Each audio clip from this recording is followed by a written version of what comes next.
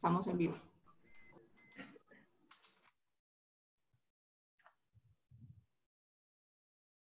Buenos días a todas y todos quienes van llegando a la celebración del Día del Profesor de la Universidad ICESI. Vamos a dar unos pocos minutos para esperar a algunas otras personas que lleguen y daremos inicio.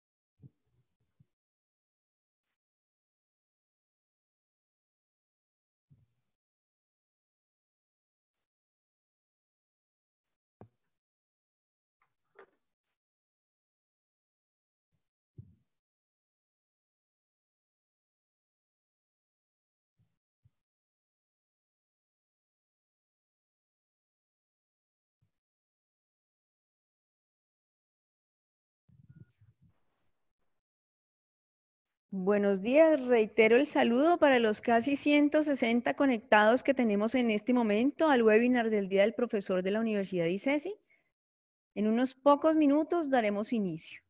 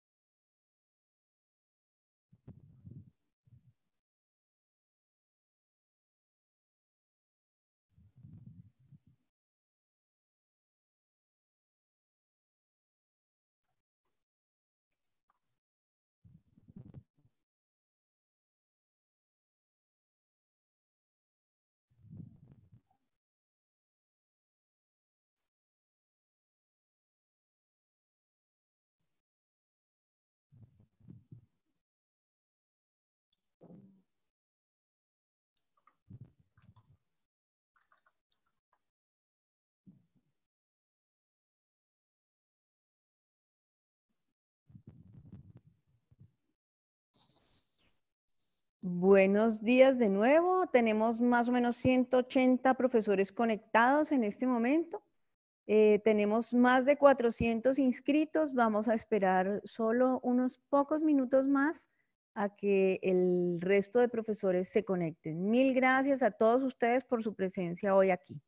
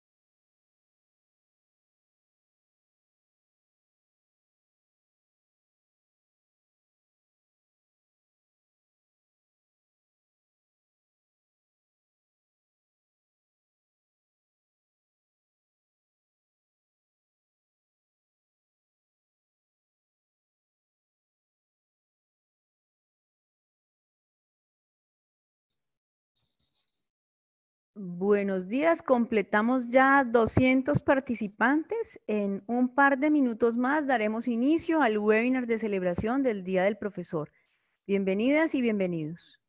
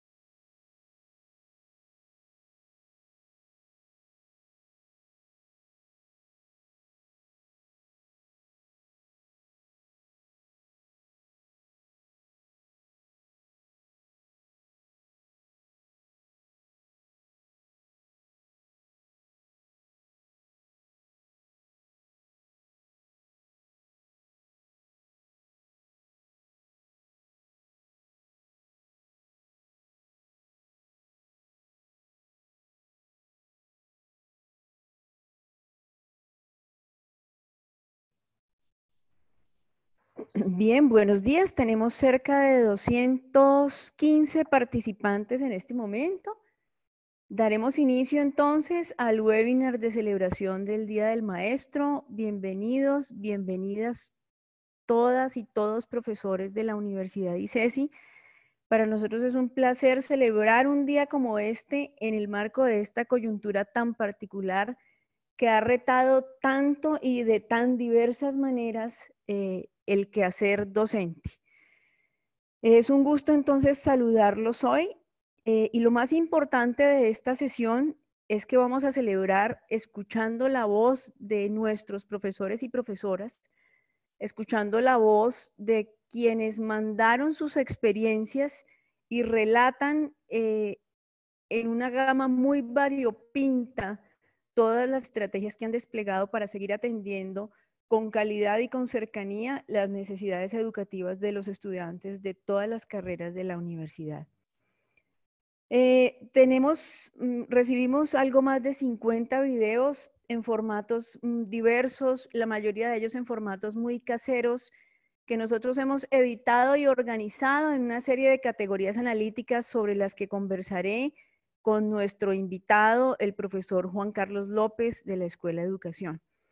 Así que producto de ese trabajo muy artesanal, seguramente encontrarán algunos detalles técnicos por los que pedimos excusas, pero creo eh, que a todas luces la sustancia y la riqueza de lo que los profesores nos cuentan allí eh, hace que los detalles técnicos tengan poca importancia.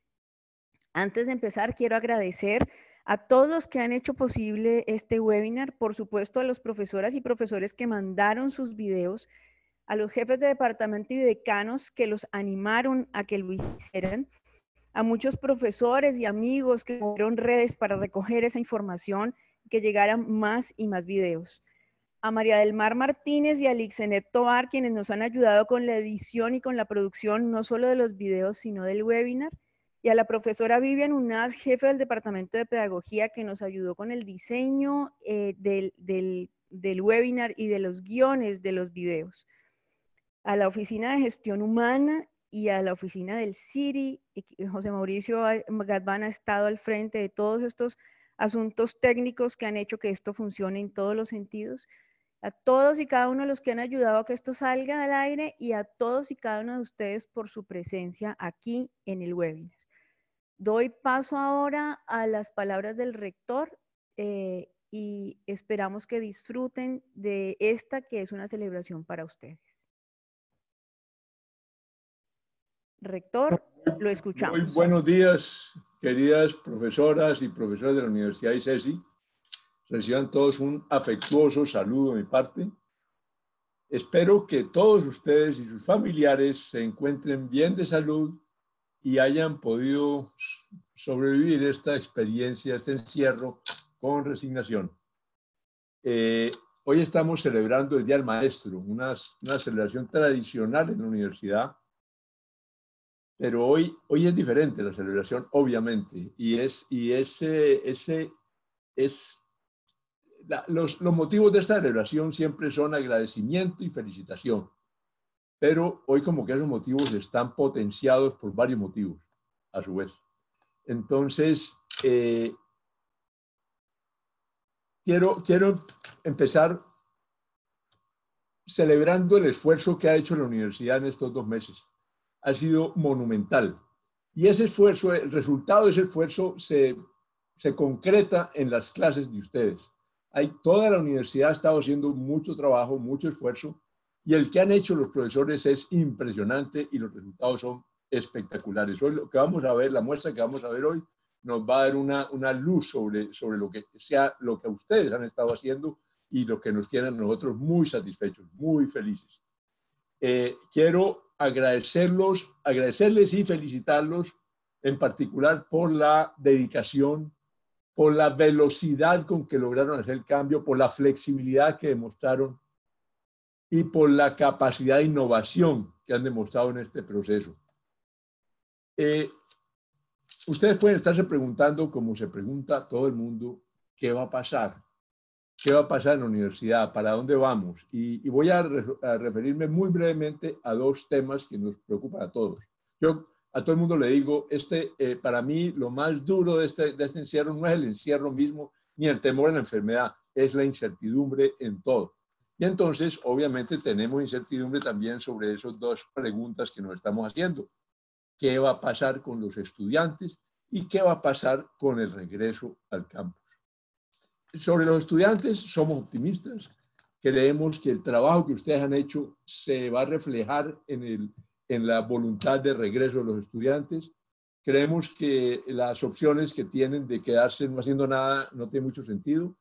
Creemos, y lo estamos diciendo, que, que la, la, la, misma educación virtual que estamos, esta remota mediada por TIC, eh, la, la, llama más técnicamente, eh, es, es una, ya es un aprendizaje nuevo, es, una, es el desarrollo de una competencia nueva que yo le llamaba la atención sobre, ayer sobre el teletrabajo, que en los Estados Unidos hoy involucra a 5 millones de personas dedicadas full time a teletrabajo y según estadísticas gubernamentales otras 25, personas, 25 millones de personas dicen estar teletrabajando parcialmente también. O sea que lo que estamos hablando es de una nueva competencia y aprovechemos mientras esto se va superando.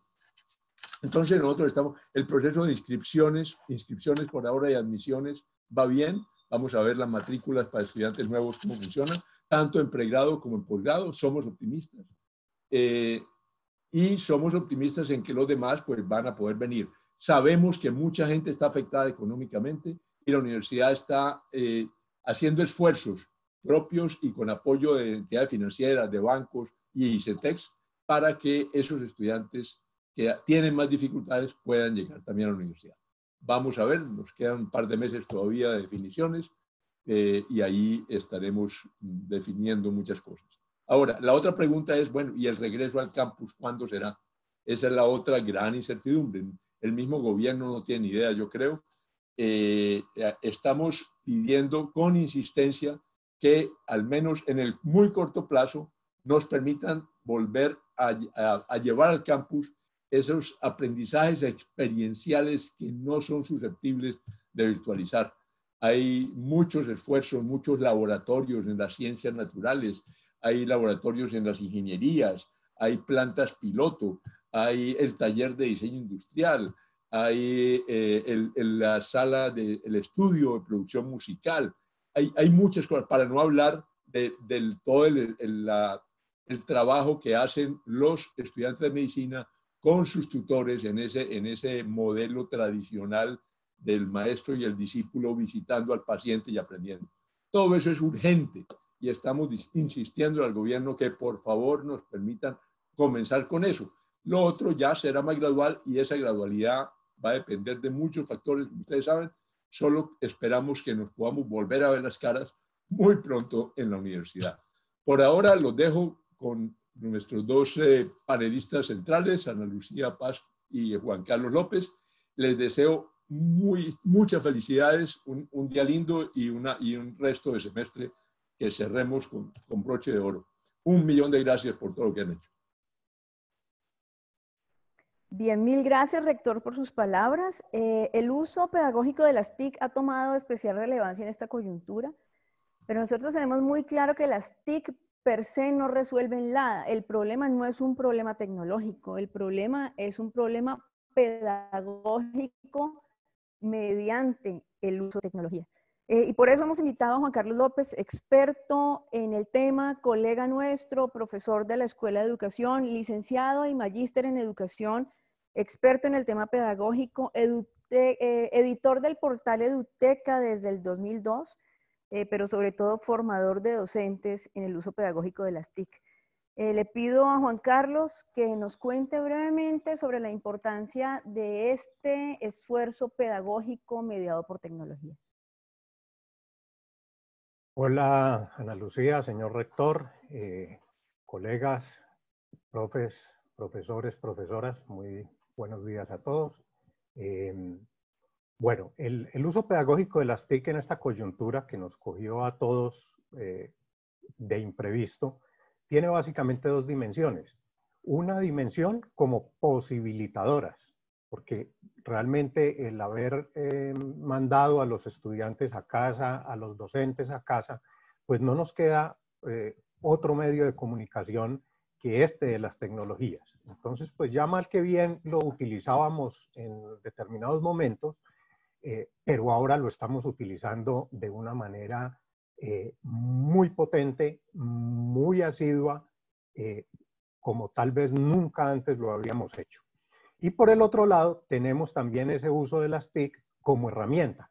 Nos valemos de esas herramientas para poner sobre esas herramientas todo ese conocimiento disciplinar, todo ese saber disciplinar que queremos que nuestros estudiantes se apropien, aprendan, dominen, pero además todo ese conocimiento pedagógico y didáctico que posibilita y permite que nuestros estudiantes aprendan de la mejor manera. Entonces, básicamente son esas dos dimensiones, como posibilitadoras y como herramienta para eh, intervenir esos procesos de aprendizaje que sean mucho más amables para los estudiantes.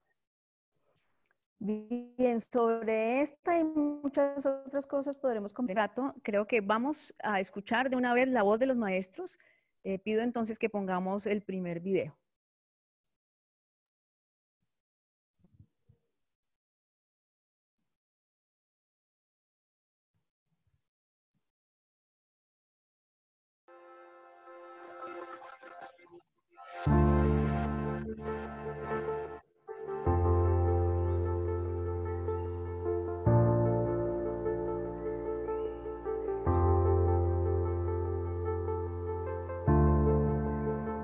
Hola, ¿qué tal? Mi nombre es Cristian Romero. Yo soy José Garrido. Mi nombre es Andrés Aristizábal. Mi nombre es Camila Pisano. Soy la profesora Ángela Garner. Soy Norbert Marín. Mi nombre es Iván Darío Sánchez. Mi nombre es Junior Hernández. Mi nombre es Domiciano Rincón.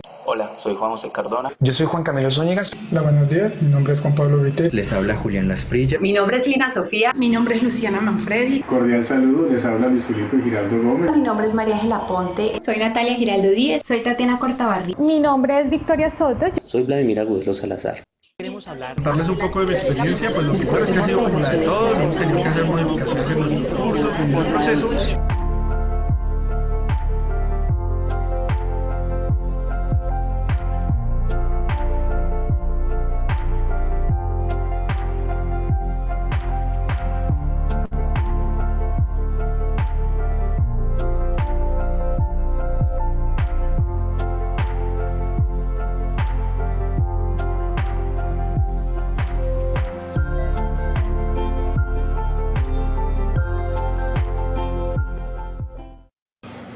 Ser virtual no ha sido fácil.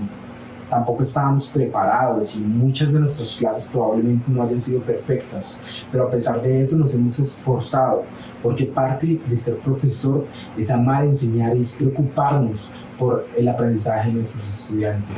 Ha sido duro, no digo que no, he tenido que aprender muchísimo, ha implicado muchas horas de trabajo, eh, pero también ya en el transcurso de los días pues es un proceso satisfactorio y, y pues lleno de, muchísimos aprendizajes.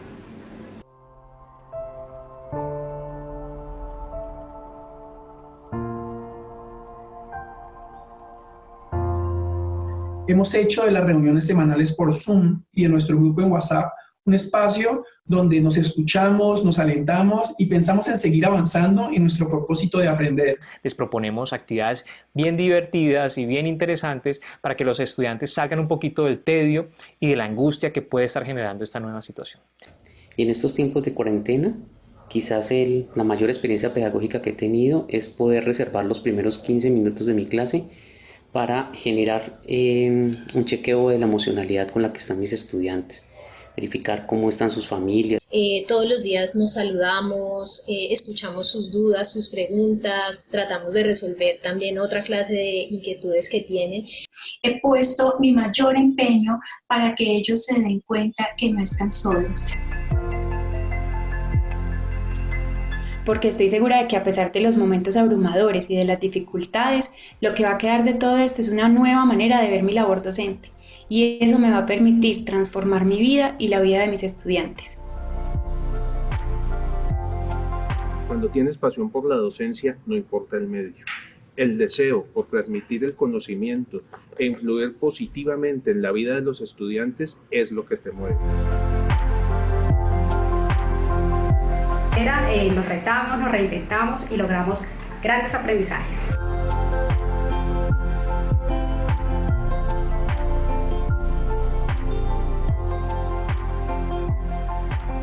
Sentir y pensar al otro, acercarnos, acercarnos para que nadie sienta que está solo.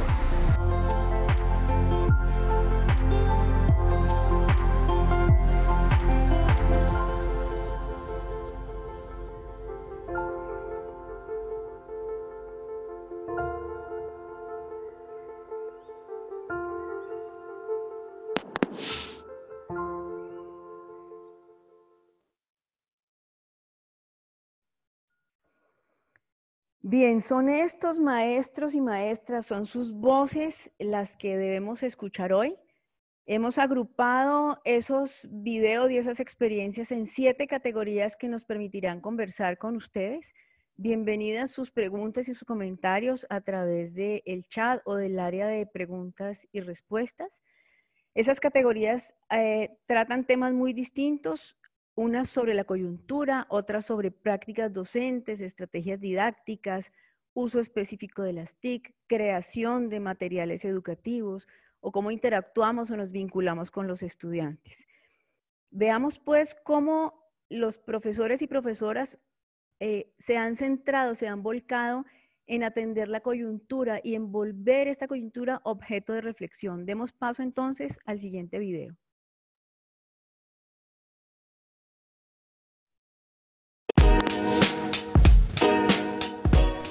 La ansiedad y la posible angustia que produce el aislamiento y la incertidumbre propios del momento que vivimos, he propuesto en las clases conversar e intentar tramitar colectivamente el malestar que todos estamos experimentando. Creo que vale la pena poner reponer temas de la clase la cultura, explorar así en las aperturas que la crisis en medio de tanta desesperanza también propone. La conquista de la selva, relatos de viaje y colonización, es un curso que explora, entre otras cosas, la manera en que el mundo moderno colonial ha impuesto sus propias aspiraciones como destino humano. La pandemia permite leer una reactualización de dichas conquistas, que suponen dominar aquello que hoy se vuelve contra sus autoproclamados conquistadores. Es aquí donde busco promover con mis estudiantes su pensamiento crítico desde el deber de pensar nuestro presente. El curso se propone desde una perspectiva feminista revisar la relación que tienen los oficios textiles con la idea de que las mujeres somos el corazón de la casa y que debemos ocuparnos de esta. Cuando empezamos a ver las alertas sobre el incremento en la violencia contra las mujeres durante la cuarentena, nos abocamos a reflexionar sobre este fenómeno. Invité a mis estudiantes a que observaran sus propias casas y que examinaran sobre quién recae la mayor parte del trabajo durante el aislamiento. Discutimos sobre si esto podría o no constituirse como otra forma de violencia junto con los otros profesores del curso, eh, hicimos preguntas donde implicaban que ellos consultaran diferentes fuentes de información, donde los datos se están generando cada día. Eh, fue un, examen que dimos un plazo para contestarlo. Entonces ellos tuvieron la posibilidad de consultar, debatir, reflexionar entre ellos los diferentes resultados que estaban o conclusiones a los cuales estaban llegando, porque fueron preguntas diferentes, fueron preguntas sobre las implicaciones o los efectos de la pandemia económicos, sociales,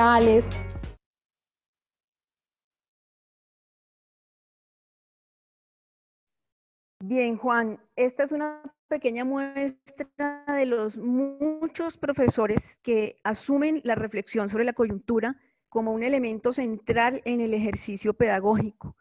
Ayúdenos, por favor, a reflexionar y a pensar sobre el valor educativo de esto. Bien, eh, por lo que hemos visto en este eh, accionar abrupto dentro de este momento de la pandemia, vemos que hay docentes que han enlazado la coyuntura con sus temas, con sus asignaturas, y lo han hecho por dos vías. Una de las primeras vías es la experimentación, y es amarrar algunos de estos temas con los trabajos que hacen dentro de sus asignaturas, eh, con experimentación de lo que pueden encontrar en sus casas, convertir la casa en un laboratorio, que esa es una de las grandes, eh, eh, digamos, recomendaciones que hace Tonushi para la educación escolar y es no dar tantas asignaciones y tantas tareas, sino convertir más este momento en un momento de experimentación. Muchos docentes en el ámbito universitario también están permitiendo que esa experimentación se dé. Por otro lado, otros docentes están amarrando la coyuntura a sus temas teóricos, a temas más teóricos y a una reflexión más profunda acerca de lo que está pasando, por qué está sucediendo, eh, cuáles son los efectos que podría tener este, eh, en medio de esta incertidumbre, esta pandemia sobre el mundo eh, a mediano y a largo plazo. Pero lo más importante es que la coyuntura nos está llevando a reinventarnos, a reinventarnos como profes al punto de, por ejemplo, los de medicina nos contaban aquí en este video cómo cambiaron una forma de evaluación y lo amarraron con los temas de coyuntura, generando una forma de evaluación totalmente eh, atípica a lo que ellos hacen eh, tradicionalmente. Entonces, básicamente, esa reflexión teórica, esa experimentación y ese reinventarnos alrededor de esta coyuntura hace que nuestros estudiantes sientan que estamos respondiendo eh, de la mejor manera en medio de todo lo pues, terrible que está sucediendo en relación a lo social y al no poder asistir al campus de la universidad. Básicamente sería eso.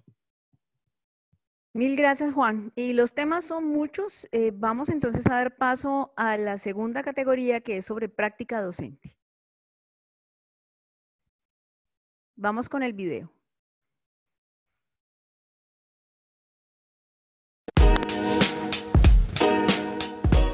Sin duda, esos tiempos nos han llevado a reevaluar nuestro papel como docentes y hoy podemos decir que después de esta crisis estoy muy seguro que seremos mejores. Quiero compartir con ustedes las experiencias que hemos tenido con nuestros estudiantes de Mercado Internacional y Publicidad. La primera de ellas es la campaña de donación de sangre en alianza con la Fundación Valle del Lili y su banco de sangre, el cual cambió el esquema de donación haciéndolo domiciliario. Los estudiantes de segundo semestre lanzaron la campaña Y si dona sangre, dona sangre en casa a través de las diferentes redes sociales y logramos una participación de 198 donantes. Por otro lado, los estudiantes de quinto semestre llevaron a cabo el evento Sinergia 24, el cual contó con dos conferencistas nacionales, dos internacionales y un workshop. A través de nuestra plataforma Pigua eh, logramos conectarnos con más de 1.100 Sinergia Lovers en diferentes países del mundo y también nos apoyamos en plataformas como Facebook Live e Instagram. De esta manera eh, nos retamos, nos reinventamos y logramos grandes aprendizajes. Que este paso a la virtualidad nos ha abierto una posibilidad de contar en nuestras clases con invitados nacionales e internacionales, aquellos internacionales provenientes de Asia, Latinoamérica, Europa, Estados Unidos, que con base en su propia experiencia personal y su experticia profesional han enriquecido la discusión en clase a través de casos que nos han contado y que nos han traído y de alguna forma han contribuido a mejorar ese pensamiento crítico y ese pensamiento global necesario para hacer análisis de los temas de coyuntura nacional e internacional. Tuvimos 65 estudiantes de manera simultánea que fueron divididos en cuatro aulas virtuales en Zoom con dos jurados en cada aula y evaluamos competencias como la clasificación de los hechos relevantes, la elección de las fuentes jurídicas pertinentes para resolver el caso y la justificación y resolución del problema jurídico. En este momento histórico nos hemos visto abocados a orientar nuestros cursos 100% en línea. Las actividades virtuales que ya teníamos en nuestras rutas de clase las hemos rediseñado y complementado. Hemos incorporado rúbricas para evaluar desde un enfoque formativo a nuestros estudiantes. Estas a su vez nos dan pautas para generar nuevas actividades, como es el caso de los foros semanales. Estos espacios asincrónicos han tenido gran aceptación por parte de los estudiantes. En esta actividad se cuenta con el apoyo de los monitores del campus. Las tecnologías digitales se han convertido en nuestros grandes aliados. Es en la clase que dicto colegiada de conservación en la cual hemos tenido invitados de diferentes universidades del país, de la Universidad eh, del Norte, de la Universidad de Antioquia, de la Universidad Javeriana. Y esto ha sido una experiencia eh, buenísima porque eh, estos expertos han complementado los temas que tratamos cada semana en la clase desde su investigación y su punto de vista y han llevado a que los estudiantes piensen y vean los temas de otra manera estos días sin duda han traído para mí momentos abrumadores, pero más allá de que se haya duplicado el trabajo o de que se haya triplicado el estrés, lo bonito es que esa curva de autoanálisis y de aprendizaje no se ha mantenido constante, sino que se disparó de una manera maravillosa. Todo esto me ha permitido analizar mi labor docente, que también estoy escribiendo mis consignas, cómo estoy evaluando a mis estudiantes y de qué manera estoy negociando y permitiéndome nuevas oportunidades de cambio. Además, esto me ha permitido aprender, por un lado, nuevas herramientas, nuevas metodologías y nuevas maneras de ejercer mi labor docente.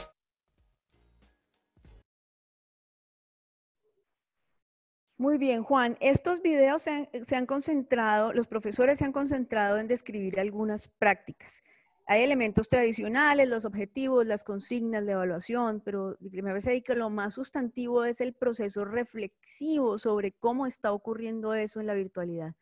Hay además una profesora que en línea en este momento nos está diciendo que en efecto hay un gran reto en, la, en el tema de las prácticas en educación virtual porque parecieran ser un fin y son solo un medio.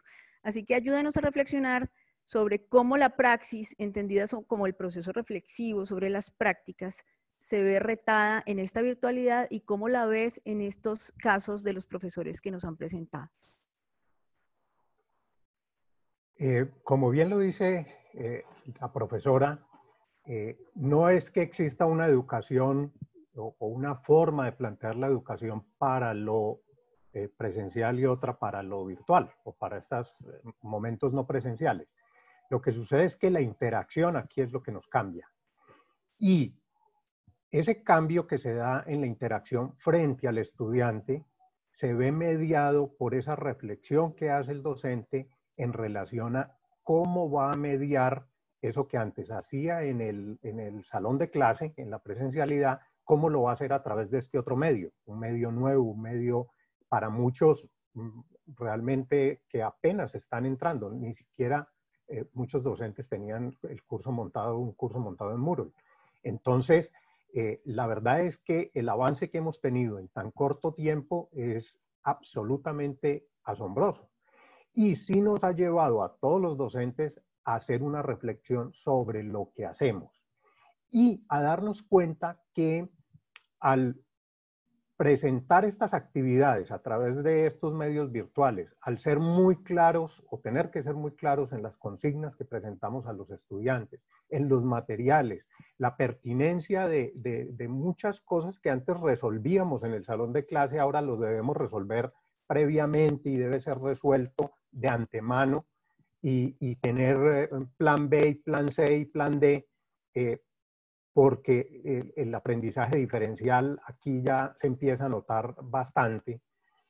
El entender que no todos los estudiantes tienen la misma conectividad ni tienen el mismo acceso a la tecnología, eso no es absolutamente parejito. Entonces, le demanda al docente pensarse su práctica, pensarse cómo es que lo va a hacer en este nuevo medio y lo que estamos encontrando realmente es que esos entornos constructivistas se están haciendo, eh, se están acentuando mucho más. O sea, el aprendizaje activo se está acentuando mucho más y la autonomía de los estudiantes realmente se está poniendo a prueba y, pues ellos en cierta medida tienden a resistirse a esa, a esa autonomía, a ese, bueno, pero es que lo tengo que hacer yo, que es lo que vemos en los primeros semestres cuando los estudiantes en la presencialidad eh, inician en este proceso de aprendizaje activo y lo que más trabajo les cuesta es, eh, antes me enseñaban, ahora yo soy responsable de mi propio proceso de aprendizaje. Bueno, aquí en este tema de lo no presencial, ahí sí que es cierto que eso toma un,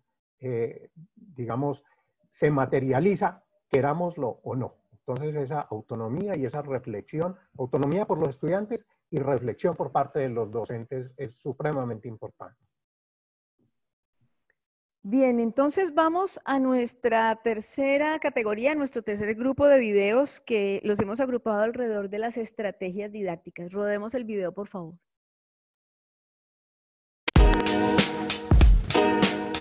Quiero resaltar que en esta situación me han servido mucho los videos ya que mis estudiantes han llegado con dudas específicas en las reuniones de cierre de tema. La plataforma Zoom también ha sido un instrumento muy valioso para eh, hacer algunas notificaciones e incluso avanzar en algunos temas. Nuestra tarea como profesores de lógica y argumentación, curso que inicia la competencia de pensamiento crítico, integra modalidades tanto sincrónicas como asincrónicas en sus sesiones y además hemos notado una participación activa de los estudiantes en foros de discusión sobre temas y actividades que se han programado semana a semana por el grupo de profesores. Esta nueva metodología nos ha permitido observar en los estudiantes el desarrollo de habilidades y competencias que articulan pensamiento crítico, aprendizaje activo, aprendizaje colaborativo y autonomía académica. Lo más significativo de esta reflexión es que nos pide que nos concentremos sobre lo importante, cuáles son nuestros públicos, es decir, nuestros estudiantes quiénes son, qué les queremos decir y cómo podemos concretar aquello que es importante que sepan. Si queremos mantener los objetivos de aprendizaje, cuando pensamos en nuestros estudiantes, en realidad qué queremos que piensen, qué queremos que hagan, a qué reflexiones los queremos invitar y sobre todo cómo vamos a escuchar aquello que ellos tienen por decirnos. Además del aprendizaje basado en problemas, otra estrategia que me ha funcionado muy bien en la virtualidad es el aula invertida, que permite antes de clase al estudiante prepararse a su propio ritmo y mejorar su participación en las actividades posteriores de aprendizaje. Y por eso, para Laboratorio 4 Movimiento, hemos decidido hacer algunos experimentos a partir del trabajo de Bruno Munari. Hemos hecho, por ejemplo, rosas en la ensalada, que ha sido una experimentación con todas las cosas que pudimos encontrar en nuestra cocina.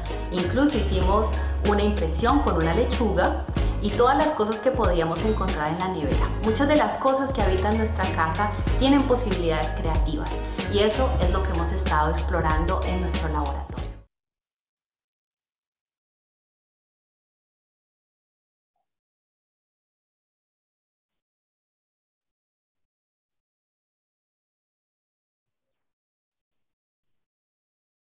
Aló.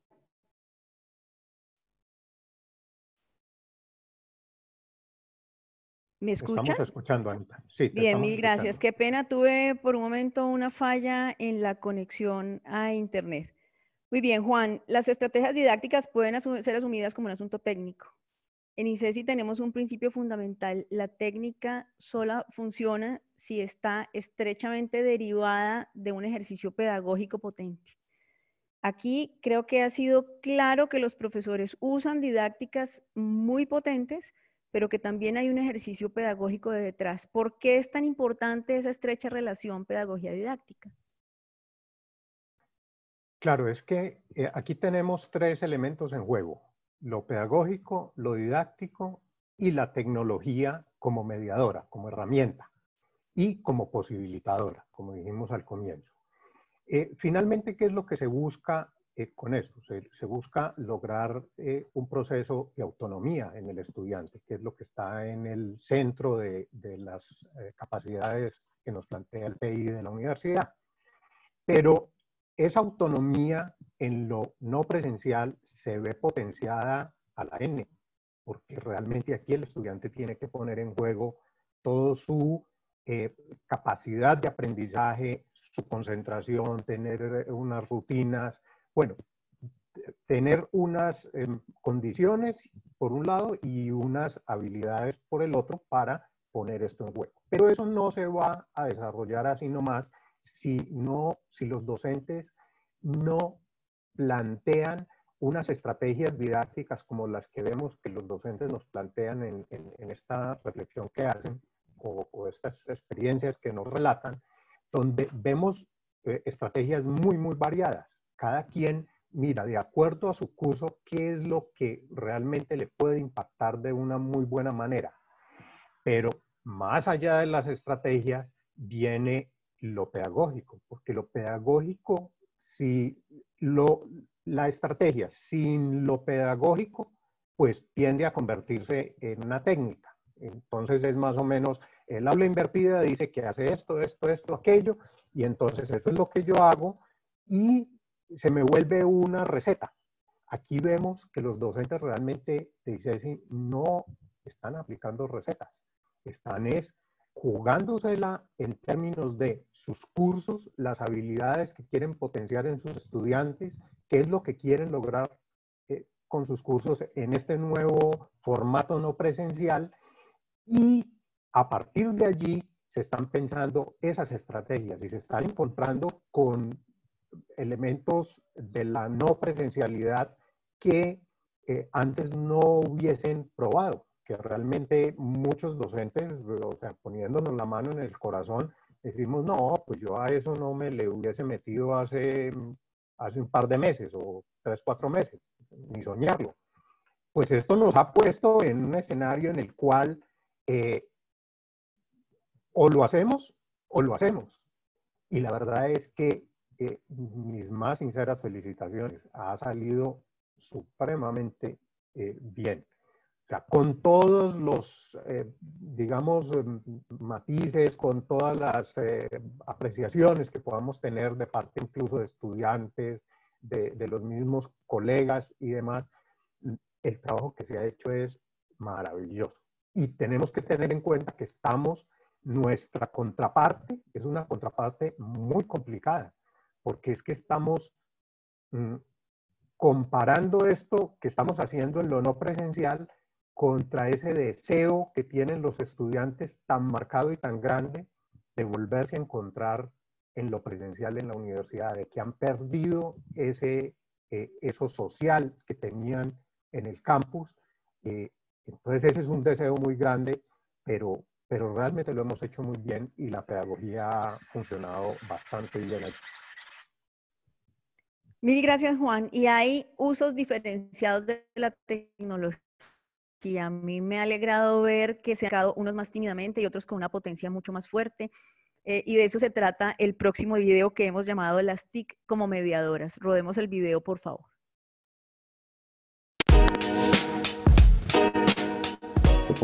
Uso de los dispositivos electrónicos me permiten a lo largo de una clase enlazar cierta información, ya sea texto, video o imagen, que a su vez va a permitir aclarar o aterrizar principios o teorías de los eh, o conceptos abordados. Reconozco que esto imprime un ritmo diferente a la clase y acerca el conocimiento de otra manera. La estrategia ganadora ha sido sacar provecho de los medios digitales y lo que ofrecen plataformas como Zoom, Slack o YouTube para adaptar la estructura a, la, de la clase a actividades que permiten hacer estas plataformas. Por ejemplo, ejemplos de implementación de software a través de videos los podemos subir a YouTube. Podemos usar Zoom para exponer y discutir algunos conceptos podemos usar algunas páginas de trabajo en equipo como Slack para poder estar pendiente de preguntas que tengan los estudiantes. La forma como veníamos trabajando antes, con una metodología PBL, trabajando en proyectos, ha facilitado todo. Mis estudiantes han definido un cronograma de trabajo, han definido eh, unas fechas de seguimiento en las cuales revisamos sus proyectos, tienen un cliente al cual atienden y al cual le responden por unos requerimientos.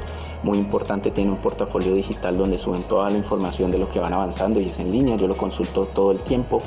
Han definido sus reglas de trabajo y cómo dirimir sus conflictos.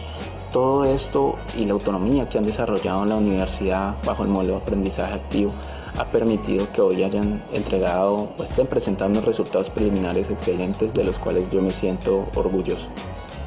La estrategia pedagógica que considero está funcionando mejor en nuestra asignatura es el diseño de actividades que promueven el trabajo colaborativo alrededor de casos reales y actuales, con entregas que incluyen reflexiones sobre el proceso y momentos de retroalimentación con los compañeros y el docente.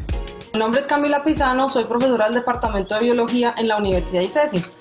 Hoy les quiero mostrar algunas ilustraciones hechas por estudiantes de mi curso Historia del Dibujo Científico, la ilustración como herramienta para la ciencia. La idea con estas ilustraciones es eh, hacer una guía ilustrada de las aves de la Universidad de ICESI, la cual publicaremos en algunos años eh, mientras eh, sigamos dictando este curso y los estudiantes sigan haciendo ilustraciones. Bueno, para contarles un poco de mi experiencia, pues lo primero es que ha sido como la de todos, hemos tenido que hacer modificaciones en nuestros cursos, vivir el proceso, pero hay algunas herramientas que me han ayudado en este proceso que les quiero compartir. Lo primero es mostrarles que hay una herramienta que se llama OBS que me permite hacer este tipo de videos en donde puedo ver la cámara al mismo tiempo la presentación, hacer cambios de escena como el que hice un rato y básicamente hacer que sean mucho más versátiles los videos y que resulten más interesantes para los estudiantes.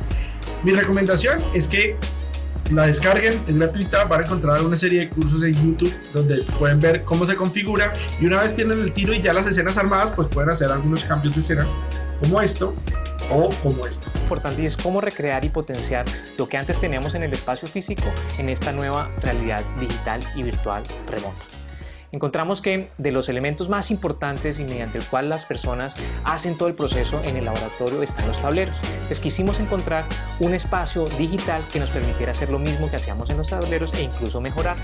Encontramos a Mural, que es un tablero digital que nos permite hacer todo lo que hacíamos antes y mucho mejor, porque no se borra, no se pierde, no hay que quitarlo, cada persona lo puede acceder en cualquier momento.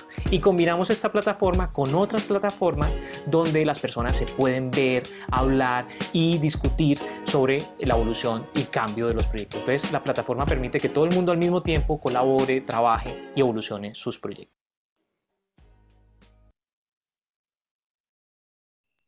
Bien, Juan, eh, mis preguntas coinciden con la pregunta de Vilma Penagos y de María Isabel Velasco, que digamos, se preocupan por cómo aprender a usar tecnología un poco más sofisticada y el tiempo que eso requiere. Por supuesto, eh, eh, puedo anunciar en este momento que en el periodo intersemestral vamos a tener un diplomado certificable para aprender, digamos, más del uso pedagógico de las tecnologías.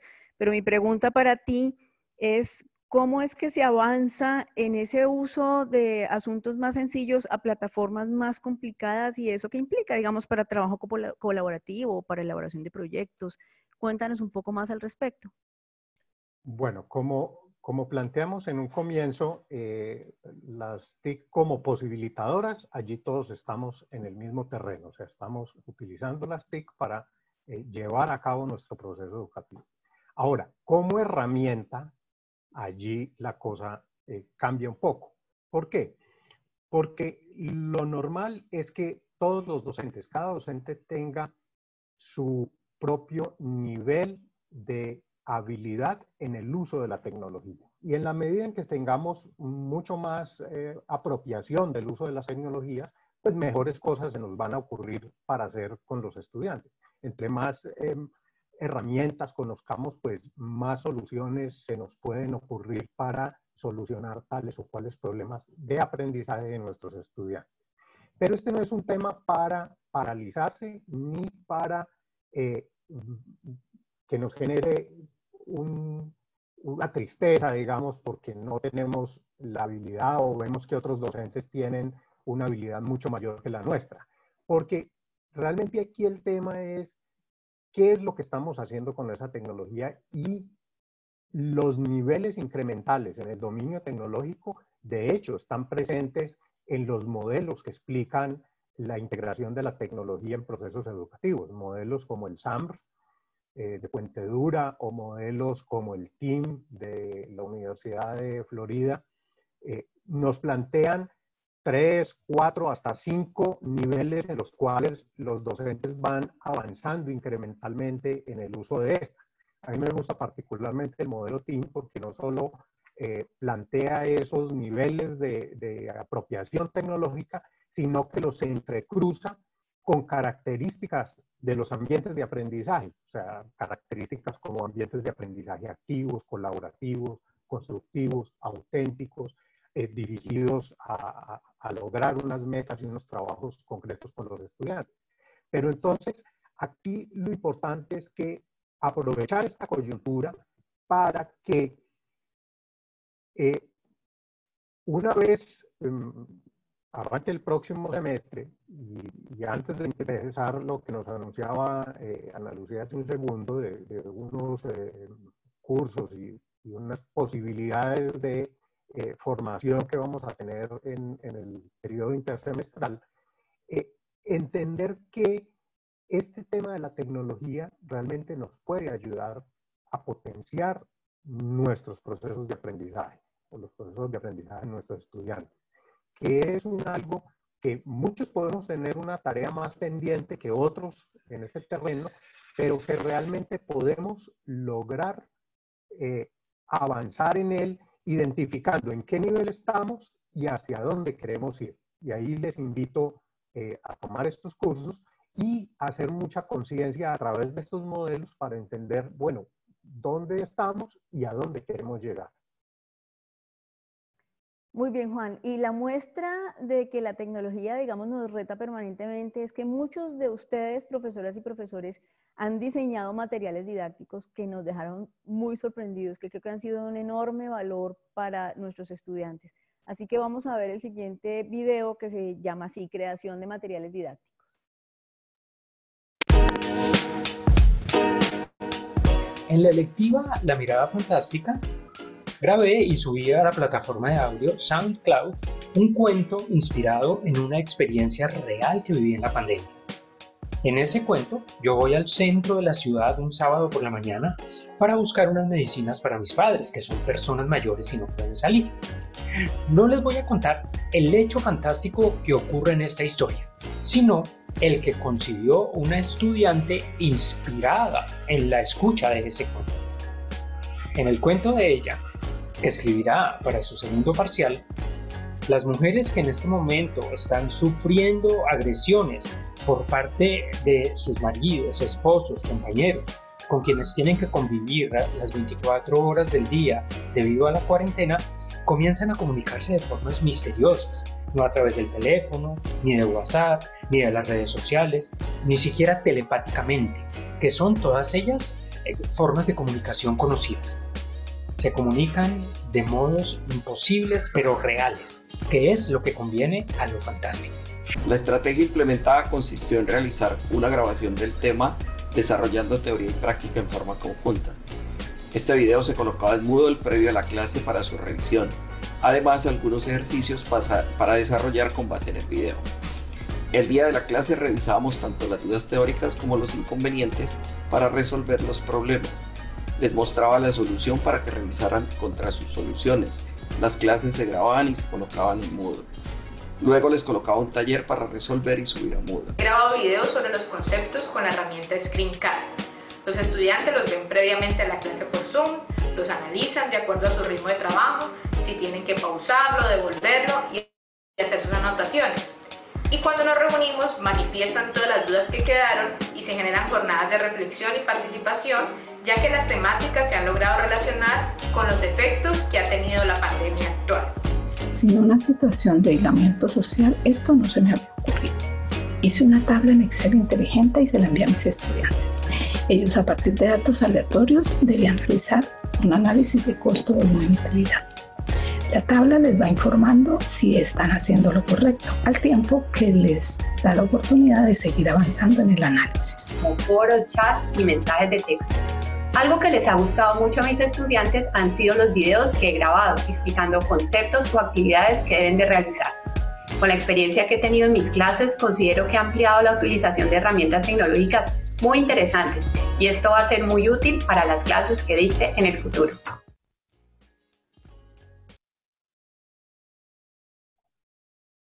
Bien, Juan, eh, hay dos preguntas eh, por parte de los participantes. Una tiene que ver con cómo podemos vincular la gamificación eh, como estrategia y la otra tiene que ver con cómo fortalecer la autonomía del estudiante. Hay una profesora que señala que le, ha costado trabajo, digamos, el, trabajo autónomo. Y, y, mi pregunta adicionalmente, ¿cuál es el valor de este material didáctico? ¿Cuál es el valor para el aprendizaje de este material que hemos visto de tan diversa índole? Bueno, vamos eh, por partes aquí. Eh, respondiendo a la pregunta eh, última que me haces sobre el valor de este material didáctico, porque enlaza con el punto anterior sobre el, dominio que tienen los docentes en el uso de tecnología, aquí vemos cómo el saber disciplinar de los docentes es uno de los grandes activos que se tiene en la educación superior, que tiene un docente en la educación superior. Entonces, ese saber disciplinar eh, a través de una transposición didáctica, lograr convertirlo en un, saber que pueda ser enseñable, que se le pueda enseñar al otro y que además puede estar mediado por un artefacto, en este caso eh, tecnológico, que construye el docente, que puede ser de distinto orden. Hay docentes que elaboraron videos, otros docentes elaboraron podcasts para, con audios para sus estudiantes, otros docentes elaboraron unas hojas de cálculo bastante complicadas, complejas, digamos, para que los estudiantes pudieran apropiarse. Y así, cada docente fue eh, eh, elaborando los materiales que requería en su curso para suplir claramente algunos de los elementos que trabajaba en la presencialidad pero siempre está atravesado por ese saber disciplinar. Ahora, en relación a las preguntas que se hacen eh, de parte de, ustedes, eh, en relación, por ejemplo, a la gamificación, recordemos que la gamificación no es usar juegos, sino usar elementos del juego o de los juegos que enganchan a los estudiantes, que tiene que ver con ese enganchar y lograr que ellos autónomamente elaboren, eh, construyan su propio conocimiento. Entonces, por ejemplo, en estos momentos de clases no presenciales, eh, es ideal poder eh, incluir en nuestras actividades elementos de gamificación que tengan que ver, por ejemplo, con puntajes, que tengan que ver con elementos como aquellos que le permiten a los estudiantes eh, orientarse a una meta, elementos que tienen que ver con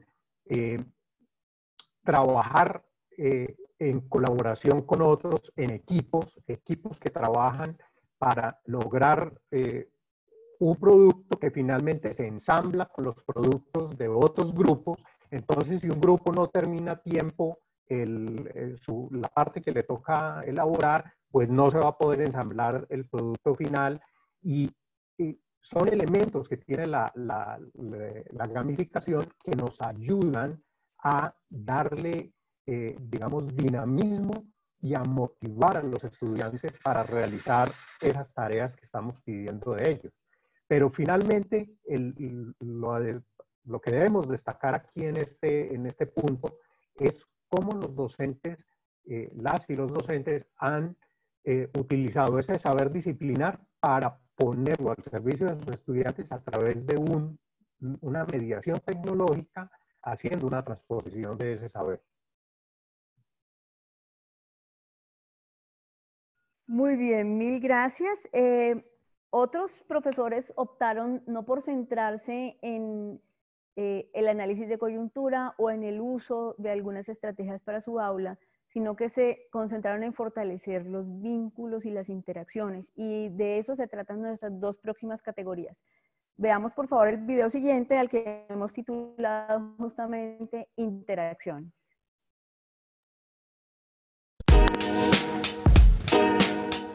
creo que el proceso de aprendizaje es un trabajo en equipo entre el profesor, los estudiantes y los conocimientos que se están conversando y construyendo en el marco de un proceso pedagógico. El trabajo en esta época de aislamiento no ha sido simple. Sin embargo, los mismos estudiantes decidieron que las reuniones presenciales que hacíamos semanalmente se mantuvieran, pues el funcionamiento del semillero no se limita a la vida universitaria. Es una camiseta que se lleva puesta siempre. Hemos hecho de las reuniones semanales por Zoom y en nuestro grupo en WhatsApp un espacio donde nos escuchamos, nos alentamos y pensamos en seguir avanzando en nuestro propósito de aprender. Y también me ha llevado una grata sorpresa en cuanto a que los estudiantes, independientemente de la coyuntura, de que no hay presencialidad y de que no hay notas como tal en este momento en la universidad, siguen manteniendo su, su, su motivación a pesar de todo lo que les está pasando y, siguen respondiendo con todo e incluso hacen las actividades extras adicionales. Me ha permitido conocer qué están pensando los estudiantes frente a la temática. Para mí fue muy interesante ver, por ejemplo, cómo cuando hablamos de las representaciones de las mujeres en la salsa, y les pedí a ellos que colocaran algunas canciones donde se reflejara la manera como maltrataban a las mujeres, la mayoría de los estudiantes participaron y dejaron canciones y además de eso dejaron comentarios. Entonces me parece que el foro es una muy buena alternativa eh, que le permite al profesor conocer qué están pensando los estudiantes y de alguna otra forma reemplaza mm, un poco la participación de los estudiantes como se da en el aula de clases. Sin embargo, pues las últimas semanas han cambiado por completamente el contexto y nos hemos dado cuenta que no solamente es lo que le digo al estudiante, sino cómo lo digo, cómo le presento la información, lo que le daría una vía más expedita a él para poder cumplir su proceso educativo. En ese sentido, desde el seminario de realidad hemos empezado a problematizar la forma como nos comunicamos. Nos hemos dado cuenta de que no solamente es importante tener una consigna articulada, sino que también hay que crear una empatía a la hora de comunicarnos con nuestros estudiantes para que ellos alivianen su carga cognitiva, su ansiedad cuando se enfrentan a los procesos educativos. Eh, también hay elementos que, me han permitido pensar mi labor docente. Eh, uno de ellos es que me he dado cuenta que, la virtualidad exige mayor precisión en, las consignas, en las indicaciones que, que damos a nuestros estudiantes, pues porque ya no podemos explicarnos de una manera amplia como lo hacemos en, la presencialidad. Entonces siento que, que, esta transición me ha permitido afinar el tipo de consignas que doy, ser mucho más clara, poder por medio de la escritura comunicarme con ellos y y pues transmitirles un poco eso que, quiero en, un momento dado, pues como de la, de la materia en particular. La comunicación permanente por fuera de clase entre todos los participantes a través de un chat organizado por canales temáticos, facilitando la comunicación no solo profesor-estudiante, sino también entre estudiantes. Las herramientas son muy importantes, pero mucho más importante es cómo las utilizamos que el pensamiento innovador ha sido parte fundamental para poder comunicarme e interactuar conocimiento con los estudiantes de una manera más dinámica, empática y adaptable a las circunstancias. Esto sí, en este caso, me parece muy importante aquellas herramientas que permiten esa interacción con el estudiante.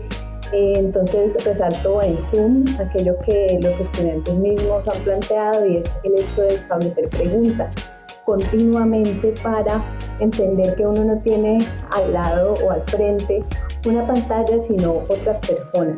O sea, propiciar esa interacción por medio de diversas preguntas, las presentaciones con diapositivas cambian, ya no son las mismas, y como también el introducir una pizarra en la cual todos podemos hablar eh, resulta también ganado. Es eh, el haber creado y el permanecer activos a través de este grupo de WhatsApp. Como pueden ver, eh, todos los días nos saludamos, escuchamos escuchamos sus dudas, sus preguntas, tratamos de resolver también otra clase de inquietudes que tienen y de recordarles las actividades que vamos a desarrollar. Bien, Juan, yo creo que aquí la pregunta obligada y la hacen varios profesores en el chat de preguntas, Federico Cadena, por ejemplo, es cuál es la diferencia cualitativa, cuál es el valor diferencial entre la interacción directa y la interacción mediada por tecnología que se impone ahora al mundo. ¿Qué perdemos y qué ganamos? Y te invito a que nos acompañes en esa reflexión. Vale. Eh, aquí en esta eh, esta sección de interacciones vemos cómo los docentes nos plantean eh, la comunicación, tal vez como el elemento clave en eh, llevar a los estudiantes eh, esta, esta, educación en tiempos de no presencialidad. Cómo las consignas claras juegan un papel supremamente importante. Pero es que además tenemos, no podemos perder de vista, como lo mencioné hace un rato, contra qué estamos jugando. ¿Qué fue lo que perdieron los estudiantes? Claramente lo espacial y la interacción social. Y difícilmente vamos a poder, eh, digamos, competir contra eso que perdieron, porque realmente es tan grande lo que perdieron que cualquier cosa que hagamos va a parecer que es poco. Pero lo realmente valioso en, en todas estas interacciones es entender que al otro lado de la pantalla hay un ser humano que, eh, el cual está protegido por la distancia que tenemos de él o que tenemos entre todos, pero a la vez genera una cercanía de un orden distinto, que se gana en esa construcción de esa cercanía, en la escucha del otro a partir, a partir de, de lo que se le manda a hacer, se rompen unos esquemas. Vemos como los grupos de WhatsApp, por ejemplo, están cumpliendo un papel supremamente importante. Esos grupos de WhatsApp donde eh, esa cercanía y esa fluidez se aporta, que aportan, está mucho más allá de lo que hacíamos, por ejemplo, a través del correo electrónico o de la presencialidad con los estudiantes, donde el correo electrónico es esa comunicación tan eh, digamos, institucional, tan eh, rígida a veces, en, el WhatsApp eh, se dan otras formas de comunicación muy diferentes. Entonces, esa interacción social que han perdido, pues de alguna manera la están tratando de ganar eh, en este espacio y pues atendiendo lo que algunos autores nos plantean, por ejemplo, con tener cuidado sobre en sobrecargar a los estudiantes con trabajo, que ha sido una de las grandes eh, eh, quejas de ellos. Eh, por ejemplo, Violán nos habla sobre la importancia de las rutinas, Goleman nos alerta sobre la resiliencia y su importancia para tomar mejores decisiones, tener la mente clara para tomar decisiones. Morán nos invita a mantener ese contacto humano directo entre profesores y estudiantes. Entonces es eh, tener en cuenta y tener claro todo esto para que esa interacción sea lo más rica posible en medio de lo restrictivo que puede ser esto de la educación no presencial, de la, de la distancia que nos impone el estar confinados. Muy bien, mil gracias. Y nuestra última categoría eh, apela a la idea del vínculo, que es, digamos, mucho más estrecho que la interacción. Hay una intención de un orden más emocional, socioemocional, si se quiere, en lo que vamos a ver. Entonces veamos, porfa, este próximo video al que llamamos vínculo.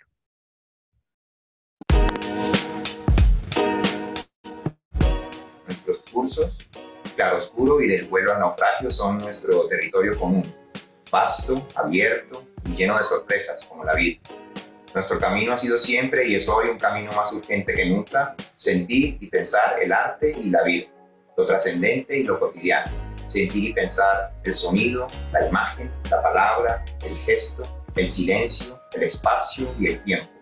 Sentirse y pensarse. Considero que el factor más importante para el éxito de nuestras sesiones ha sido el acompañamiento. No hemos dejado solos a nuestros estudiantes.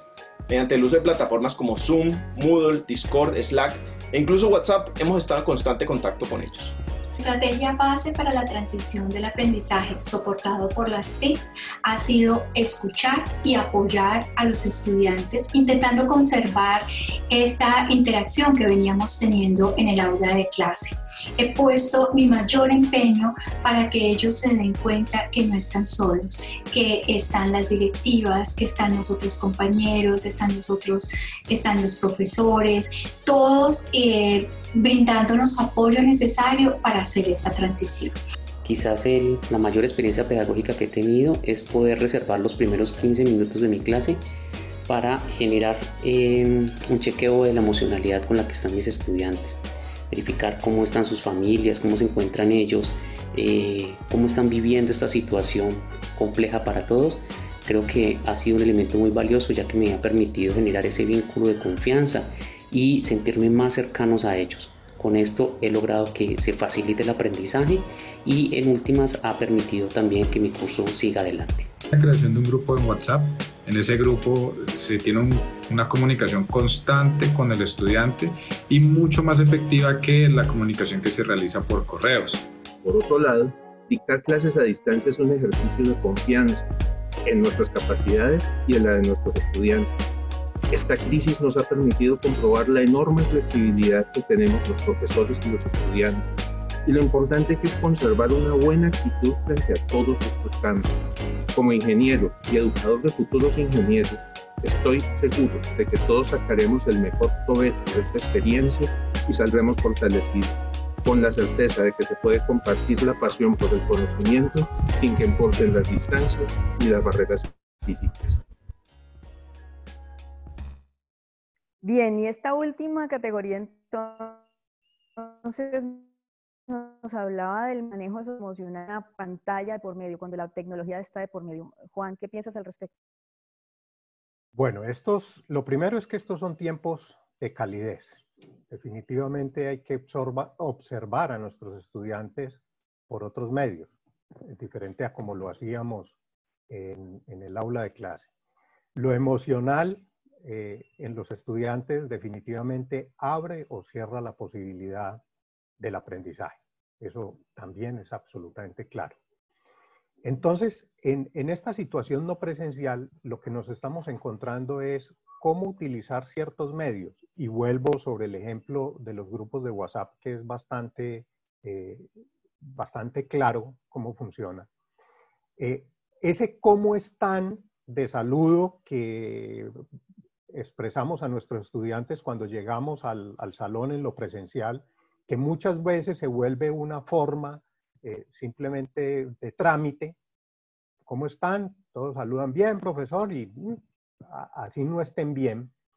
Nos encontramos que a través de estos medios los estudiantes nos manifiestan, incluso por fuera de los grupos, cuáles son los problemas que están experimentando, problemas de salud, problemas de ansiedad, problemas de todo tipo que este confinamiento les está generando.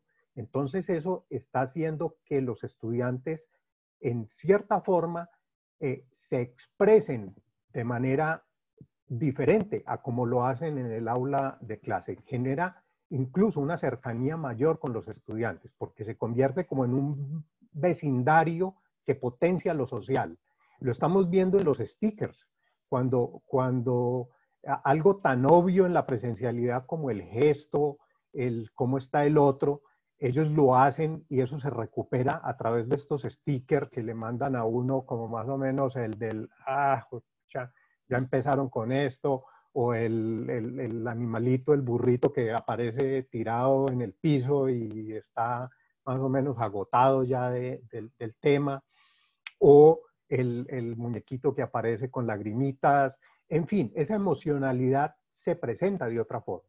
E incluso cuando los docentes plantean reglas y horarios para responder estos mensajes, eh, aparece la pregunta, aparece la cercanía y se aleja la soledad y se aleja el aislamiento. O sea, siente uno una mayor cercanía de ellos, siente uno que ellos están más conectados con el grupo y con el docente. Y no quiero eh, mm, dejar pasar eh, esta oportunidad y para concluir esta intervención en este homenaje, que definitivamente el trabajo es de ustedes, profesoras y profesores. Eh, se siente un orgulloso el tener y trabajar con unos colegas como ustedes.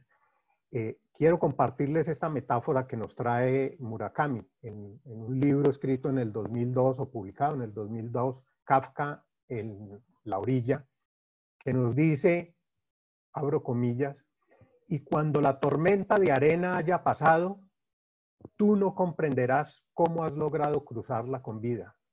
No, ni siquiera estarás seguro de que la tormenta haya cesado de verdad. Pero una cosa sí quedará clara, y es que la persona que surja de la tormenta no será la misma persona que penetró en ella. Y ahí estriba el significado de la tormenta de arena. Cierro comillas. Igualmente, las y los docentes de ICESI que entramos en esta situación de docencia remota, indudablemente no vamos a ser los mismos que salgamos cuando esta pandemia deje de acosar nuestra cotidianidad. Muchas gracias. Mil gracias, Juan. Así es, seremos otros y otras hacia adelante.